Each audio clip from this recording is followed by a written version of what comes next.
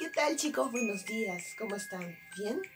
Chicos, el día de hoy nos toca cuento. Sí, y miren el cuento que les he traído. Se llama Cajabot. Hubo una vez un robot cuyo cuerpo era una caja. Sus ojos eran dos botones y sus antenas de paja. Durante las vacaciones, una niña lo fabricó con creatividad y materiales que en casa encontró. Botones, goma, tijera y una cajita de cartón, papeles, goma eva y mucho cuidado y concentración. Miren, salió a la calle orgullosa enseñando su robot. Pero los niños del parque ¡Ah! gritaron. Ese robot está hueco. ¡Ja, ja, ja, ja, ja! Y se reían y burlaban. ¿Dónde se ha visto que un robot esté hecho de cartón? dijo un niño burlón queriendo darle un pisotón. No, cuidado. Pero la niña, con astucia, rápidamente respondió. Este muñeco asusta a los niños pesados y se llama cajabot. La niña abrió la cajabot y de su interior, ¿qué crees que salió? Veamos. Pues un sapo verde y resbaloso que al niño asustó. ¡Guau! Se fue corriendo el niño. Todos en el parque aprendieron la lección aquel robot era poderoso aunque fuera de cartón. ¿Se dieron cuenta niños?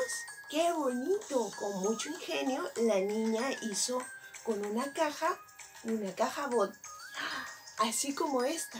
Miren, yo tengo mi caja bot. ¿Qué les parece chicos si también aprendemos a hacer un cajabot en casa? ¿Sí?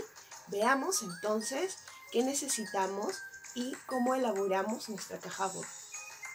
Mira, para hacer nuestra caja bot necesitamos una caja Tetra Pak. Puede ser de frugos y yo le quité la tapa para que podamos forrar adecuadamente. Voy a utilizar, mira, papel de color verde para forrar la caja. Mira, ya está forrado.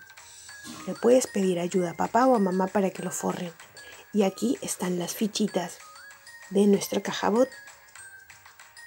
Obsérvalas como son para que tú también puedas recortar y tener igual. Mira,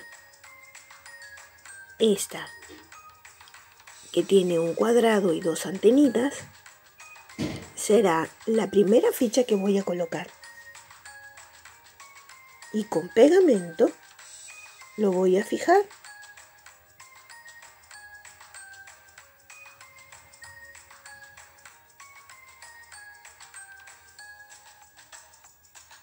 Listo.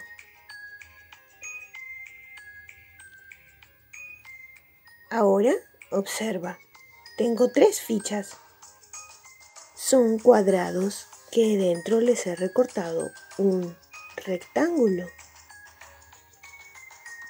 Este cuadrado sí lo puedo pegar, observa.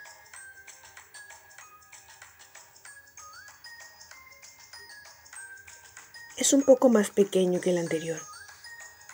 Y debo fijarme, sí, esta ficha es más pequeña que la anterior, que la ficha azul. ¿Ves? Y esta ficha amarilla es más pequeña que la ficha roja. Y va a quedar así, ¿ves? Ahora le voy a pegar los ojos. Hice dos círculos blancos y les puse puntito, solo un puntito para cada ojito. Le voy a poner ojos curiosos. Mira. Ahora voy a ponerle los brazos bien pegaditos a la cabeza.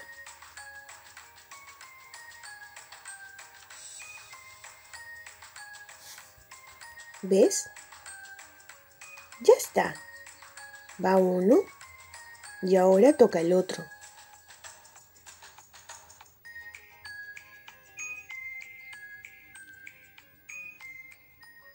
Muy bien.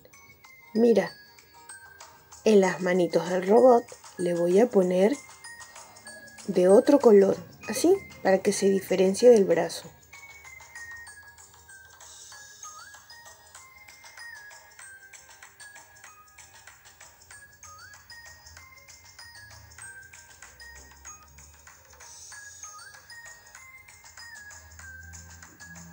Ya está. Casi casi está listo. ¿Qué es lo que le hace falta? Le voy a poner tres circulitos en la cabeza. Mira, de esta manera.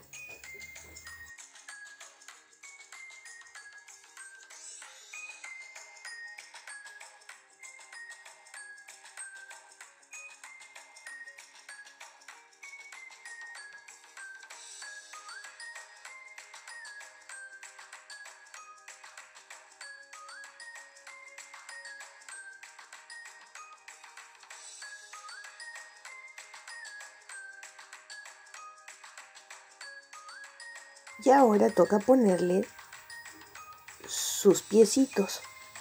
Mira.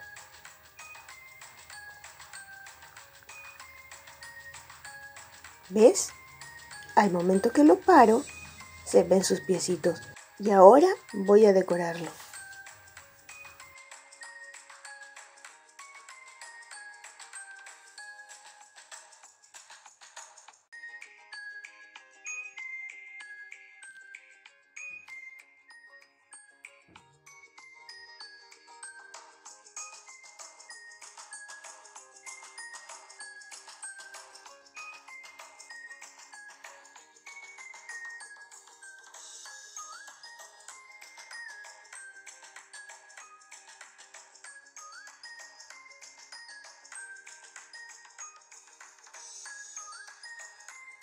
Listo, ¿ves? Qué bonito. ¿Qué te parece si ahora le ponemos sus orejitas? Mira, así.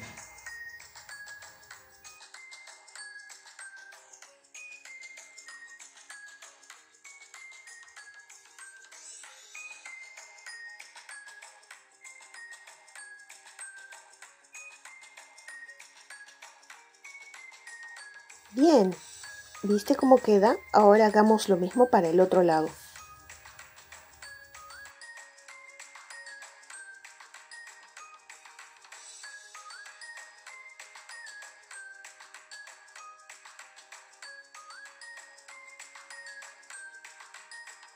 Ahora sí está lista la caja bot. ¿Te gusta? Quedó muy bonito.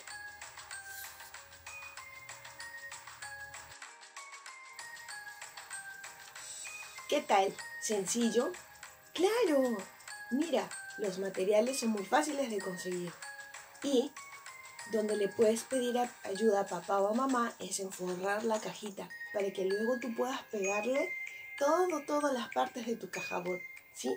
Muy sencillo de elaborar. Y ahora, ¿qué toca hacer? Prestar mucha atención.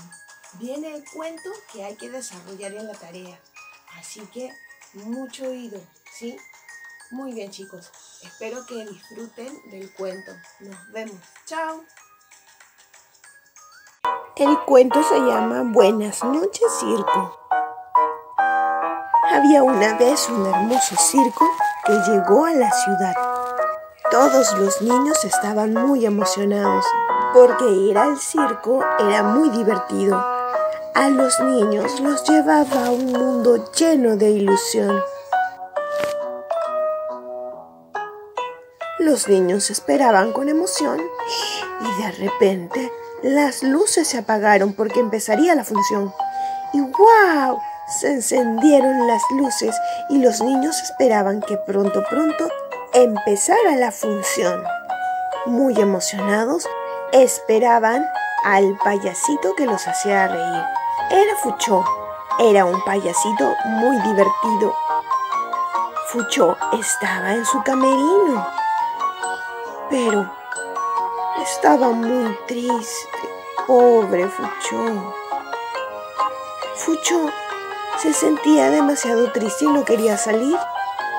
hasta que llegó el amigo trapecista y le dijo, ¿qué sucede, Fucho? ¿Por qué estás tan triste? Fucho dijo, lo que pasa es que perdí mi flor. No la encuentro por ninguna parte y eso me llena de mucha tristeza y dolor. Fucho estaba llorando porque no encontraba su flor. Fucho decía, ¿qué puedo hacer ahora? ¿Dónde la encontraré? Mi flor era bella y encantadora. Como ella, ninguna. Y ahí estaba la flor. Pero el trapecista dijo, no te preocupes, Fucho, porque quien hace reír y divertir a los niños eres tú. Los niños son muy felices al verte en escena. Vamos, no pierdas la fe. Fucho no quiso escuchar. Y el malabarista insistió, tú eres quien da alegría al show. ¡Oh! Se quedó muy sorprendido Fucho, escuchando las palabras de su amigo, mientras éste se retiraba. Pronto, pronto llegaría el momento de su acto. ¿Qué haría? ¿Saldría escena? ¿Podría hacer reír a los amiguitos? ¿Qué pasaría? Luego su amigo el malabarista llegó con una flor.